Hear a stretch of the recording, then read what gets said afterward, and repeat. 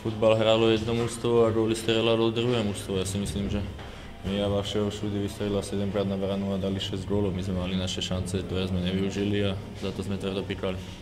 Musíme sa z tohto zápasu poučiť, lebo Mijava prišla prakticky 6 krát pri bránu, 6 gólov nám dali, my sme tam mali šance, nevyužili sme ich a musíme na tom popracovať na tých šancach, lebo už aj s Trenčinom sme pozahadzovali a teraz nás tam tlačí topánka.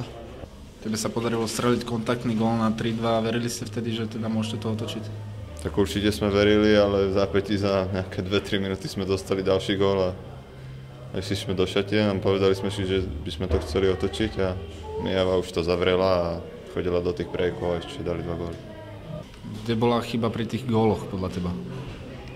Mm, tak ja si myslím, že nedostatočným dostúpením hráčov a v podstate ich každý odkrok bol nebezpečný. Prvom polčase si myslím, že sme hrali dosť rozťahnuto a každý nákop Mijavčanov bola hrozba a z každého prakticky dali gol. Posledných 20 minút sme hrali v podstate štýlom hádzané, že, že Mijavčania stáli v 8 9 vzadu na 16 a to sa potom ťažko prestreluje.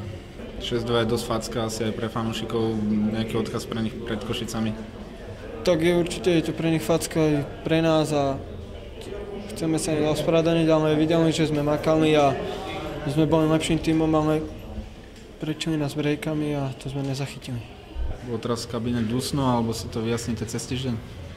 Tak ja si nemyslím, že by, že by bolo nejako dusno, ale určite, určite tam padnú aj tvrdšie slova. Musíme sa z toho spamätať a vieme, že sme nehrali nejak extra zle, že sme držali tú loptu, len Mijava dávala góly, no tak aj také zápasy sú, ale musíme sa z toho dostať a pripraviť sa na Košice.